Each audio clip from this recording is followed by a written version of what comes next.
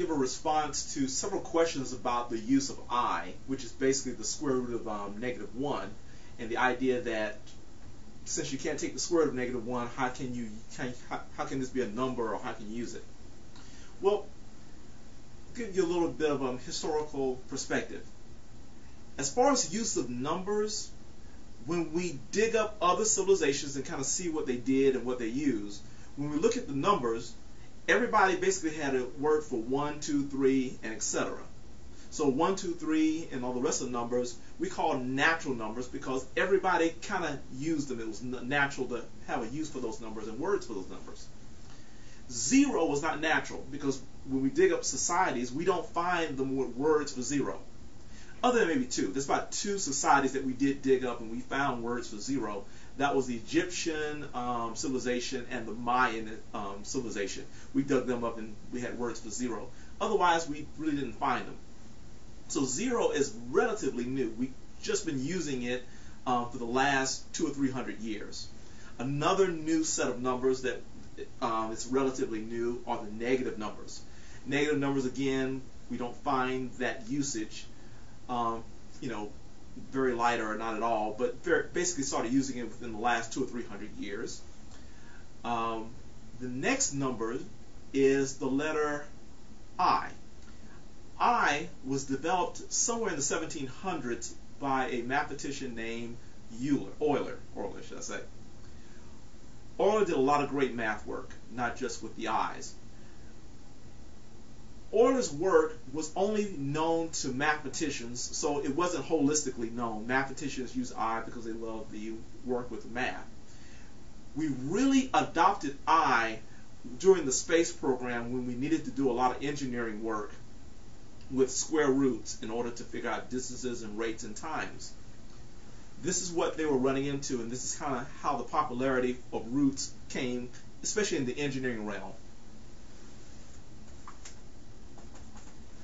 Lots of roots are used in the um, engineering. But whenever a negative number appears under the root, this is typically what happens. We break that up into a negative 1 times the number. The number itself can be simplified, so square root of 4 is 2. But the negative 1 is actually left underneath the root. Engineers basically masked the square root of negative 1 by just calling it i. Didn't get rid of it, but we just called it i. Here's the problem with I, or 2i, or counting things in I units. I know what 2 is. If 2 is the answer, that means I need 2 gallons, or I need 2 feet, or I need um, 2 tons. I need 2 units of something. A 2i unit, no one knows what that is a measurement of.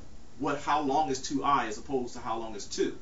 So the idea of having i eliminates the idea that you can measure anything with it or it could be useful engineers purposely kept I around because even though I was not useful itself, the idea is that if you kept using I in the process, and if you had one I multiplied with another I somewhere in the process, you would have an I squared. And I squared eliminates the root, and you get the negative 1. And negative 1 is useful because we can measure, because negative 1 does measure things. Negative 1 could be a temperature. Negative 1 could be the idea that, that the distance is going backwards. So that was a great asset to keep working with the equations that, that, that contain i and eventually get an i squared. Another great result was i cubed.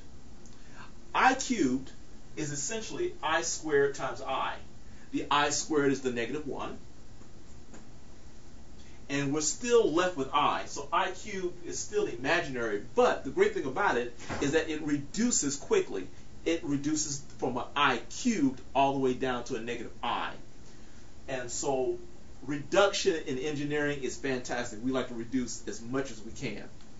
Now, the greatest thing to happen with i or engineer is to keep working until you got an i to the fourth i to the fourth is the equivalent of saying i squared times i squared, which is a negative 1 times negative 1, which is positive 1. So getting an i to the fourth power would be equivalent of having 1, and that really simplifies the process. So engineers love working till they got get this point. It doesn't happen that often, but it does happen, and lets you know you can have some real results.